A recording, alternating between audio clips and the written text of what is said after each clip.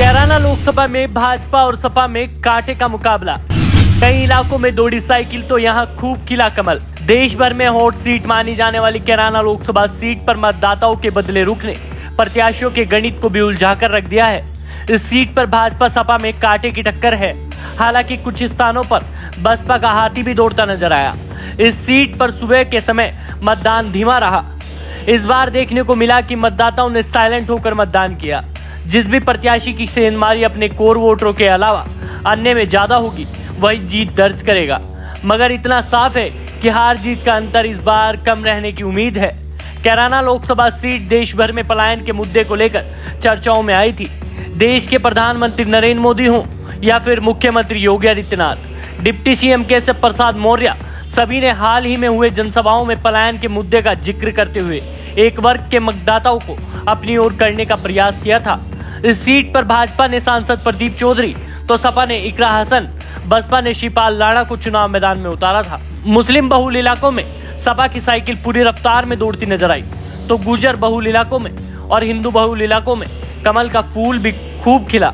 हालाँकि दलित बहुल इलाके बडियाल, शामली का नया बाज़ार सिलावर में हाथी की रफ्तार के साथ दौड़ता नज़र आया।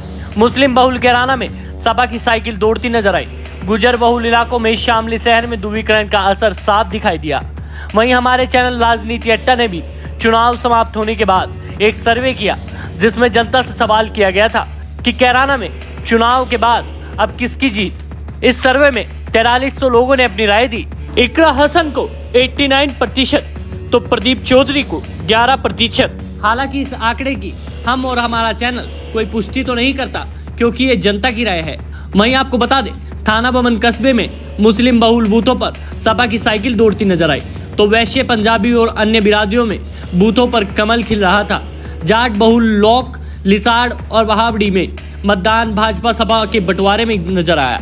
वहीं जाटों को गढ़ कहे जाने वाले उन क्षेत्र में भी मतदान रुझान उतार चढ़ाव भरे रहे। इस बार मतों का ध्रुवीकरण रहा।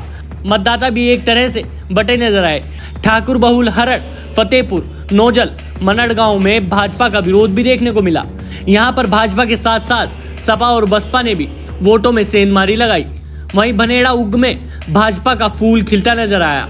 मुस्लिमों का रुझान गठबंधन के पक्ष में दिखाई दिया। एससी का रुझान वैसे तो बसपा की तरफ़ रहा, लेकिन भाजपा और सपा ने भी इन वोटों में सेन लगाती नज़र आई। स्वर्ण और ओबीसी मतदाताओं में मोदी फैक्टर का असर नज़र आया। मतदाताओं के बदले रुकने इस बार प्रत्याशियों का गणित पूरी तरीके से बिगाड़ कर रख दिया है। हालाँकि ये तो मतगणना के बाद ही कहा जा सकता है कि कैराना लोकसभा सीट पर जीत का सैराब की बार किसके सिर बनने वाला है। आपको क्या लगता है?